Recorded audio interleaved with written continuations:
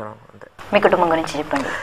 అమ్మ నాన్న అంటే మా కుటుంబం మా ఫ్యామిలీ అంటే చాలా చిన్న ఫ్యామిలీ అండి. మా చాలా లోయర్ మిడిల్ క్లాస్ ఫ్యామిలీ నాన్నగారు హిందూ ప్రీస్ట్ లైక్ ఆయన అంతా కూడా మంచి ఊరికి ఒక పెద్ద అలా ఉంటుంది అంతా. ఆయన కౌముది కళానికేతన్ ఒక సంస్థ స్థాపించారు నాన్నగారు.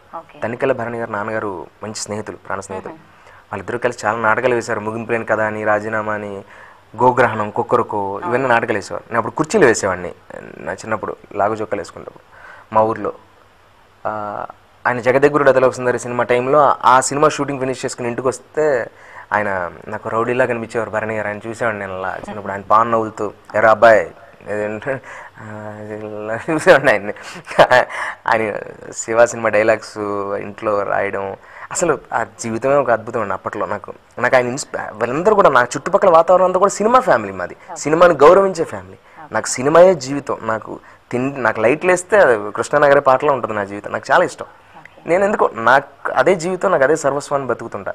నాన్నగారు అలాంటి సినిమా ఈ రంగంలోనే ఉండేవారు నాటక రంగంలో. బట్ సినిమాలకు ఎందుకు ఆయన ఫ్యామిలీ మెంబర్ అయి ఫ్యామిలీ అయిపోవడంతో కుదరలేదు పాపం ఆయనకి. ఆ టైంలో ఇంకా అమ్మ వచ్చేసి హిందీ